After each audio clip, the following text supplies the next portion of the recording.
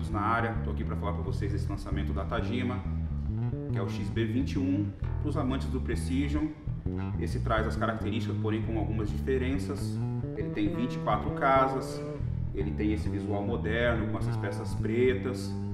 É feito com a madeira do corpo Okumi, o braço é maple, a escala é technical wood.